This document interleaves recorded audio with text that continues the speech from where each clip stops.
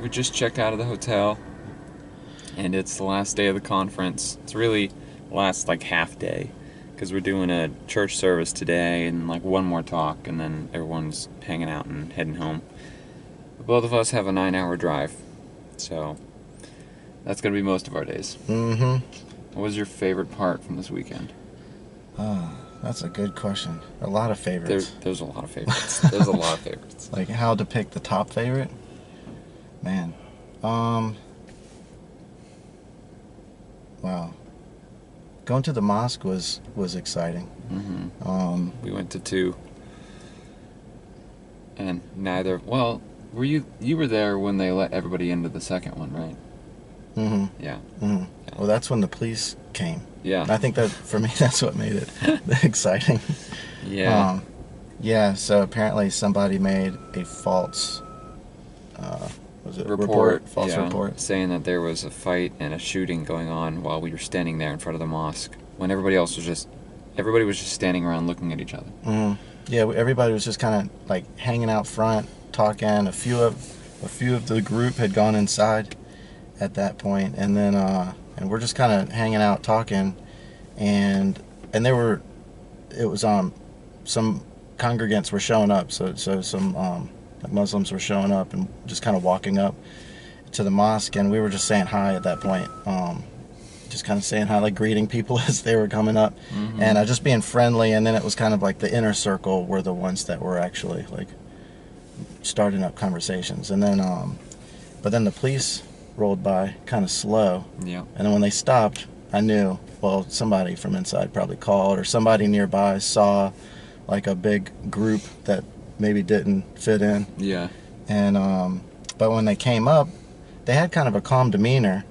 But so it was kind of striking when the guy, the first officer, you know, when we asked like, is there, you know, is there a problem?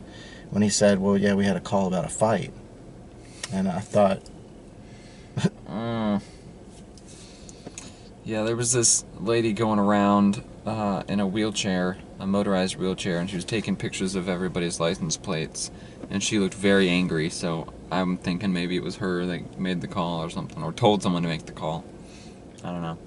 yeah, because the when the officer said that that they had a call that there was a fight, and we, you know, we, we were kind of all in shock, like, why would anyone say that? and or are you sure you got the right place? Yeah. And um, because it was like so far from that, and then uh, and then we told him like, no, you know, and uh, nothing like that. We're just, you know, we're just out here, you know, being friendly, sharing the gospel with anyone that wants to hear it, and Mhm. uh, and then and then they said okay because we had a he had he had made some comment referring to a shooting or a gun or a rifle something to that effect or maybe maybe all three and uh, so then we were really concerned and and um, one of the one of the people with the group said well isn't that illegal to to make a a false Yeah. you know report like that and um, but the, the police didn't seem they didn't even really care to follow up on that um, but uh, which so there was actually a crime that was committed Yeah. and but they weren't really they weren't concerned with that they were more concerned with any type of conflict or whatever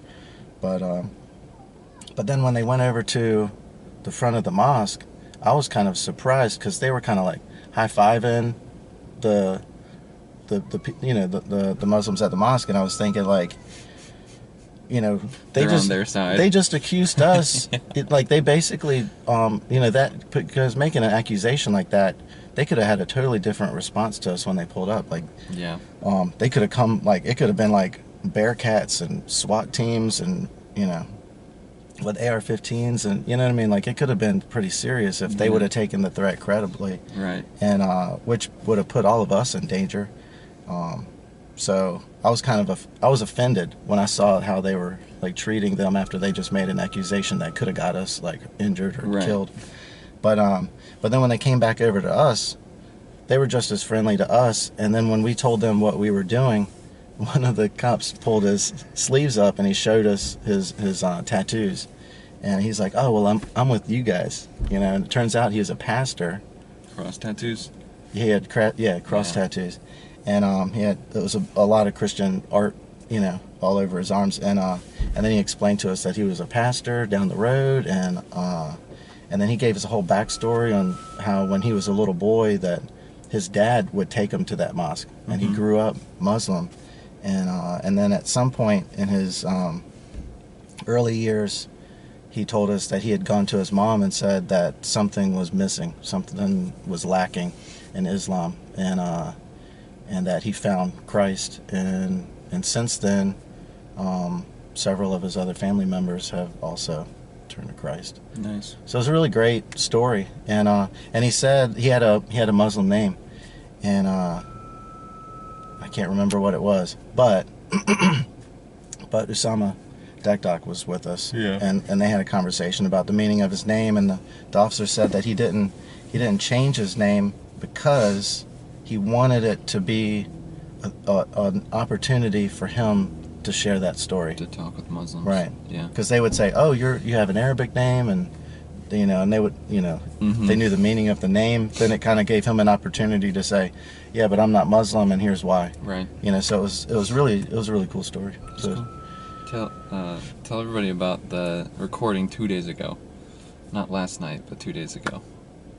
Which part? The uh, whatever Oh, your oh, favorite oh, parts yeah, were. yeah, yeah, Oh my goodness. Well, I'll give a little backstory about that too. So, um, there have been two recordings this weekend, two late night recordings, and two nights ago, um, it was a remake of a David and Nab- Nabil video, and I won't say much more than that, except that there needed to be like a crowd in the video because there were main characters talking and a crowd responding.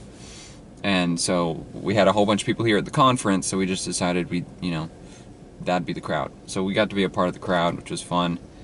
Um, but there was a whole lot of really funny stuff going on, and it took a while to record because of that. So go It ahead. was so good.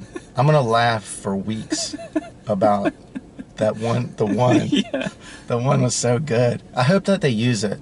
But it was so good that the next guy that was supposed to ha- that had a line right after, he, He messed broke. up. Yeah, he broke character because it was just unexpected. It was it was golden. They, there was some response that the crowd, like the crowd was getting angry at the main characters, and they were bouncing insults and replies around the crowd. So it was like, you know, you're a racist, I hate you, all that kind of stuff. But one guy had a specific line, which was, it was either you're a bigot or you're a disgusting bigot. And when he got up and said his line, how did he say it? Yeah, because it was um the first person. Um, I think it was you. You're you're ra- You're that's racist. racist. That's racist, Yeah. or you're a racist, or something. And then he was supposed to say, you know, you disgusting bigot, or something. And then the next guy was supposed to stand up and kind of point at the, you know, Main characters. the main characters and say, uh, these guys are Islamophobes. Yeah, yeah. And uh, well, you know, and then so we did we did it the first time, and the guy said, you know, you disgusting bigot. He just kind of like delivered it straight. like regular, yeah. Yeah, and uh, so like how everyone was kind of expecting it. I mean, it was good. Yeah. It was like everybody did a great job, but um, but it was a little more like expected delivery, Uh-huh. and uh, and so then they said, well, this time not don't have so many like so much space between, like not uh, like kind of squish it the lines together to make it a little tighter.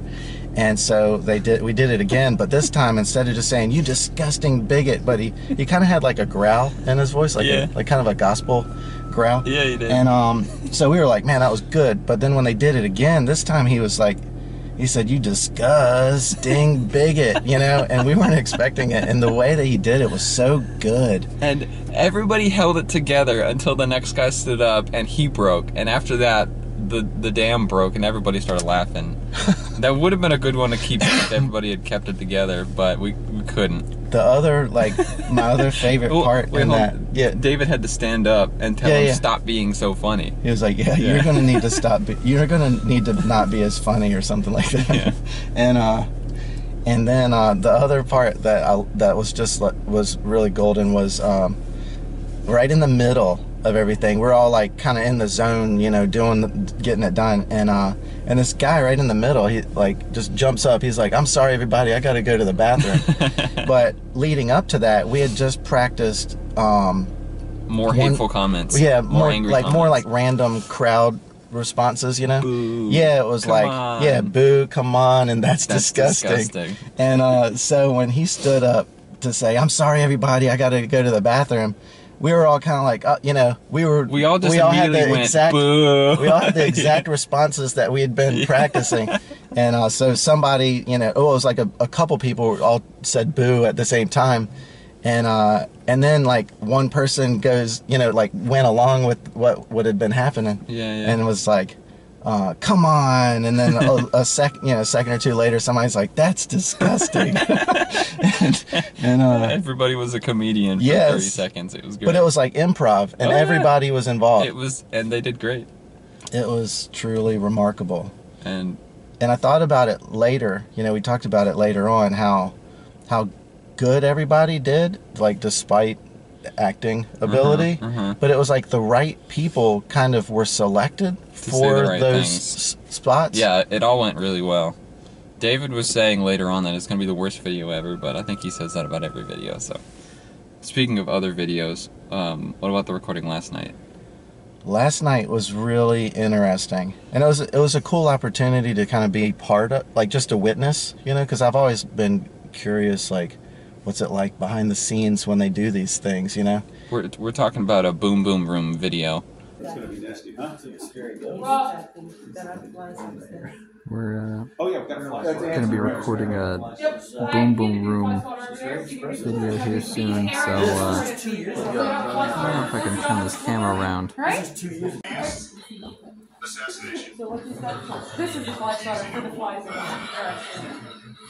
In the Okay. I think that's it. All right. All the audio settings and stuff are the same as they were before, before, right? Yeah, I didn't play So yeah, we'll just roll with that. Uh, episode of that. Yeah. They So we recorded one of those last night. they allowed us to come back and uh, help out. Yeah. So- which was cool. It was really cool to kind of be like hands on and and uh, kind of contributing to the the magic. And uh, so yeah, so they they were recording, um, and I thought, what a crazy, uh, I guess like video to be part of because it's uh, it's an interesting story to me, you know, and it's a it's a major like historical, you know, uh, account or, or whatever of you know of Muhammad's life is is when uh, when he was poisoned Mm-hmm. at um at Khaybar and. Right. So, um, so to be there and see Hatun as the the, the Jewish, Jewish woman. woman. poisoning him, and she had a shirt that said "Death to Muhammad." but one of his- but everyone knows. Yeah, one of his lines read. was, "Hey, I like your shirt." Um, I wish I knew what I it wish said I knew or what it said, but I can't read. everyone knows I can't read, and um, This is before, and start to lean forward, and then so, and then you're gonna come back up with one of them. All right, so run this run this line like two or three times like this. Okay, um, screen change. What? Oh, oops. I know it's your favorite. I ask your companions. Just let me add little more spices.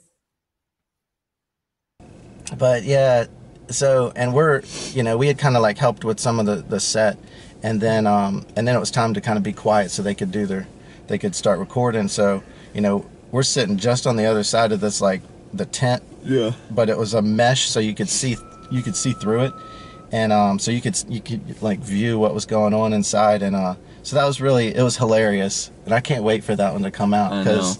Hatun did a great job and like just seeing all the little props like you know the I don't want to like give I don't know if we should like tell details but uh, That video will definitely come out before this one. I mean, there was some there was some crazy stuff that she puts in his food. Like Yes. she's like smiling in Yes. the camera, like dumping all sorts of nasty stuff into his food, and um, yeah, and I think it was real lamb.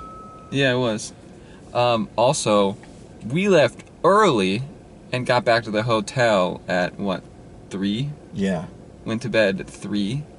Well, there was a So- there was a situation, and we were we were kind of sticking around, kind of like pulling for them, like Right, they had a video file get corrupted, so we wanted to see if they were able to fix it. But after that, we left, and they really hadn't gotten into most of the recording yet. Mm. So we're about, let's see, yeah, we're gonna have to leave in a minute and actually go over to the church service this morning.